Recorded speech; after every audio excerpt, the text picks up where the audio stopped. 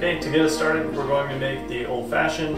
And to do that, we're going to make this in the glass with old fashioned and a lot of whiskey based drinks. You uh, stir when it's predominantly just spirits. You stir, you don't shake, so we're not going to be using a shaker for this particular drink.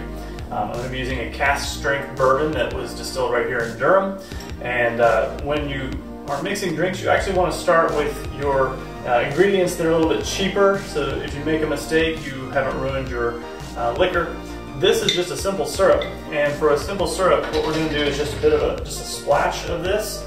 Um, so I'm using a half ounce, but I'm actually pouring um, about a quarter of this, so about an eighth of an ounce uh, for my simple syrup. I have found that using the Angostura bitters, two dashes, and then I have found through trial and error that I like a little bit of orange bitters in mine, so I'm just going to put a single dash of orange bitters. The simple syrup, I'm using a Demerara sugar, which is uh, a little bit more versatile and uh, blends a little bit easier with a variety of uh, ingredients. For this, I'm going to do two ounces of uh, bourbon.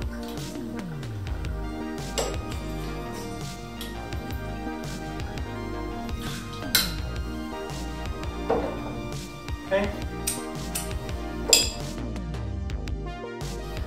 Okay, now you can just take the raw slice uh, and just drop it straight in. I'm actually going to shape it a little bit just to be a little fancier. And you can express over the glass, which basically means you're getting some of those uh, oils out of the rind and putting it into the drink itself. With an orange peel, I like to rub it around the rim just to give you a little bit extra. Now you have a nice orange twist, I just drop it in. Old fashioned. Our next drink is the Tequila Sunrise. This is another one that is made in the glass. And so we've got a Collins glass or a highball glass here. Uh, and it's got crushed ice. And partially because this is a drink where you want some of the texture to come through, this will make sense as you see the finished product. Uh, this is a pretty drink. It's one of my favorites. We're not using the shaker for this particular drink. Uh, we are going to be making it in the glass. So to get us started, we're going to put in four ounces of orange juice. Remember, we always start with some of the ingredients that you don't really care if you mess up. And then next we're going to put in the tequila. Now this is going to be out of order from typical and it'll make sense here in a minute. Uh, we're going to put in the tequila before the grenadine. And the reason is that uh, the way that these ingredients are going to come together is we want to put the tequila in first in Tequila Sunrise.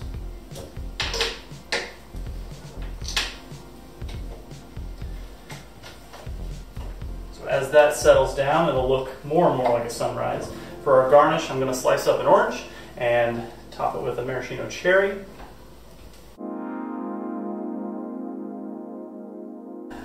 Generally speaking, when you're dealing with garnishes, less is more. This is a giant orange slice, and uh, it, typically you, you wouldn't put something quite so ostentatious um, but the Tequila Sunrise is a little bit of an ostentatious drink. It's already got a lot going on, and so it's okay to go a little bit over the top.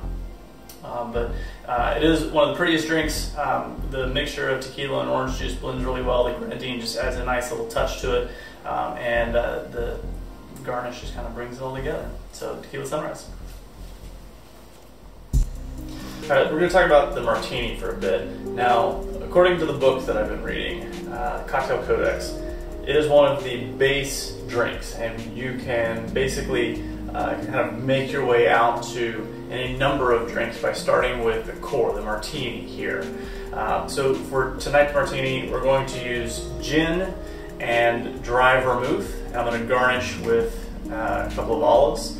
However, uh, I actually have found in personal experience that a vodka martini, which is kind of the other acceptable version, a vodka martini uh, is preferable, but I prefer it with a lemon twist. And the martini can be customized in a number of different ways. You can have a dry martini where there is more of your base spirit than vermouth. Kind of a, a classic or a root martini would just be kind of a pretty even balance of about two to one, which is what we're going to be making tonight, two ounces to one ounce. Uh, or you can have a wet martini where basically it's a one to one ratio and you're dealing with one ounce and one ounce. And so um, with, with all martinis, uh, they're going to be stirred.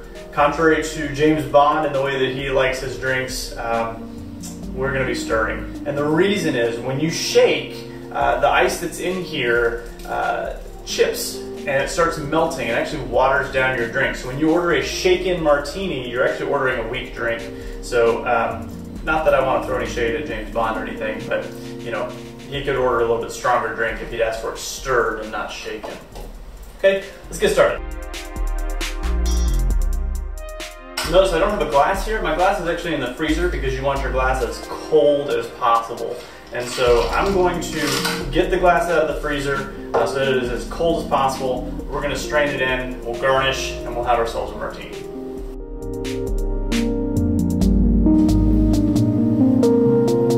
There we go. Okay, the next drink is the Manhattan.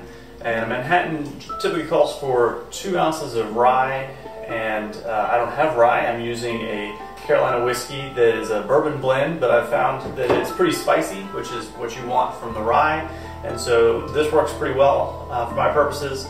Uh, it calls for one ounce of vermouth, sweet vermouth. Um, this Dolin vermouth I found to be a major upgrade over the first vermouth that I bought um, that was cheap and from Target. Uh, so recommend spending a little bit more money to get you a good vermouth. Uh, then two dashes of bitters, and the bitters are for seasoning. So you've got some spicy, you've got some sweet, you've got some seasoning, and this is a variant of a martini. And so instead of gin or vodka, we're using whiskey. Instead of dry vermouth, we're using sweet vermouth. And then because we've got the whiskey, we're going to put in the bitters for the seasoning.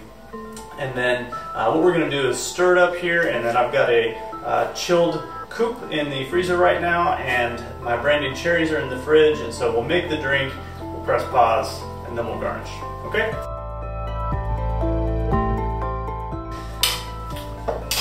Stirring is getting the ice to melt a little bit. Uh, it helps the ingredients to come together. It also cools it down. Alcohol has a lower freezing point, and so we're really wanting to stir for a good bit of time in order to get the ingredients to come together, but also to, to chill it. It's also why we have a chilled glass in the freezer, which I'm going to get now. And then uh, these are some cherries that have been brandied. Uh, basically, you just put a bunch of brandy and some sugar in a mason jar, stick it in your fridge for about four weeks, and then you have homemade brandied cherries. And Manhattan. Okay, so our next one, you notice we have a little different setup. We're actually going to do a blended drink, and this is going to be a pina colada. And this is a nice one for parties, especially with warmer weather. And so we've got uh, a scoop of ice in here. Uh, we're going to add some rum. We've got pineapple juice, cream of coconut, and then we'll top it with a cherry. So let's get started.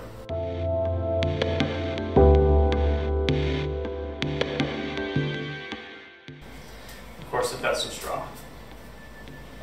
Pina colada. Uh, this next one, uh, we're going to make a daiquiri.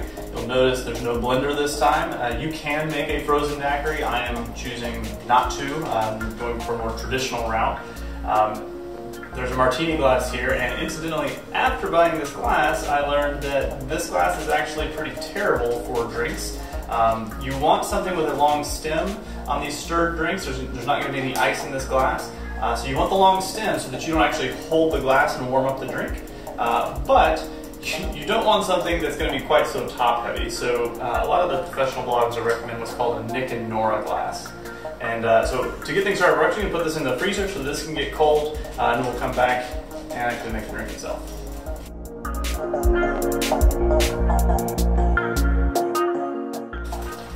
Whenever you're doing a sour drink, something that involves citrus of some kind, you always want to shake it to help the ingredients to uh, combine. And then you can do it shaking just on time, and you can time out how long your shake should be, and then basically you shake, test, pour back in, shake some more, and basically what you're trying to do is figure out what's the right amount of shaking to get the right dilution from the ice, uh, so the ingredients combine well. Uh, the other way to do it is basically by feel. Uh, you can't tell, but this is very cold right now. Uh, I put a lot of ice in here. When you shake, the whole shaker gets very cold. Uh, and that's one of the ways that I know that uh, it's done is when the entire shaker is, is, ice cold. So this is ready to go. We're just gonna put this lime wedge, you can float it. I'm gonna put it on the rim. And then you have a daiquiri. This weekend is the Kentucky Derby, and a classic Derby drink is the mint julep. Uh, so we're gonna put one of these together for you. Uh, mint julep is a variant of the old fashioned. Um, we've still got the bourbon, uh, we've got the simple syrup, but basically instead of bitters, we're utilizing mint. Um, and uh, the preparation's a little different on this one. So we're actually gonna start with the mint. I'm just gonna rub it on the inside of the glass here. And then go ahead and add my ingredients.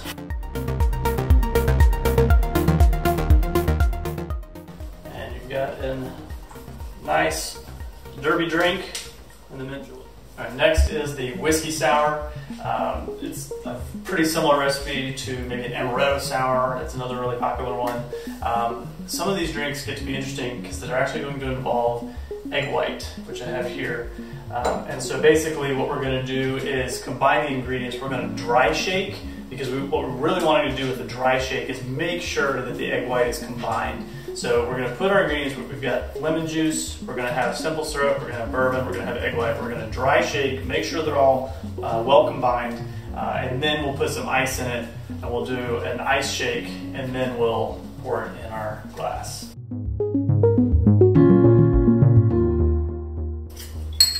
And one thing that we have to be careful about with the uh, whiskey sour and the amaretto sour, and anything that's using an egg white, is that uh, you can get a lot of pressure buildup. And so I'm gonna put the lid on first and then add the cap. And then I've got to hold it real tight while I shake. All right, we get the ice, we'll go to the next step. The thing that we're looking for on the whiskey sour is nice froth. It should be pretty foamy and that's from the egg. And the way that you really make sure that you're getting that foam is a good dry shake.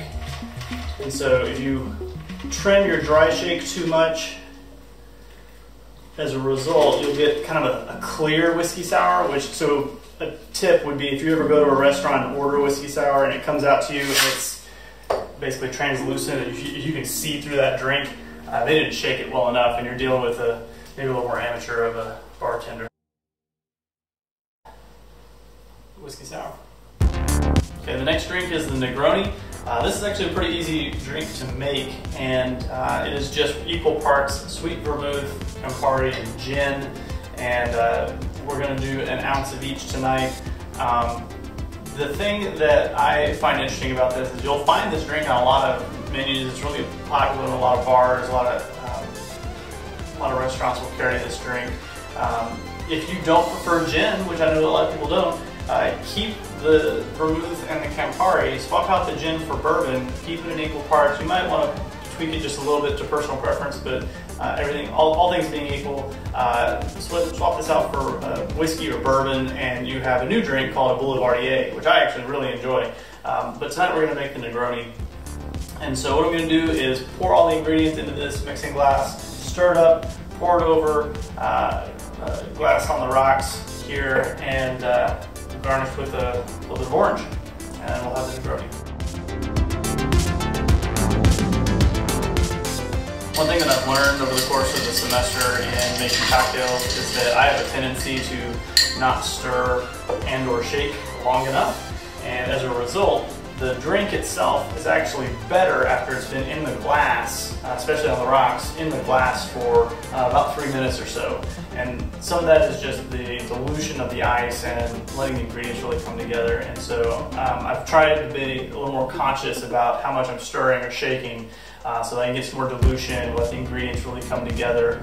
Um, went to a, bar last week and um, sat at the bar to watch a bartender making drinks, and he would frequently put the ingredients, stir, and then walk away and work on another drink. And so um, giving the ice just a little bit more time to melt, again, the water helps the ingredients to really come together. You can over dilute and then it tastes watered down. I'm not going for that, uh, but I do want the ingredients to really come together in this one, particularly because we've got some really competing flavors here with the, the bitter Campari, uh, we've got the juniper in the gin, uh, and then the sweet uh, aromatized wine and so because there's so much going on, I really want to make sure that they come together.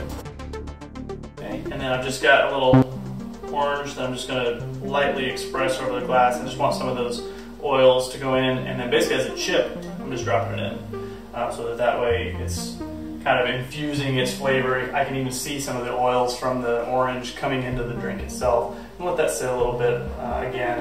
Uh, but other than that, it's ready to go, and you have a Negroni. Cheers.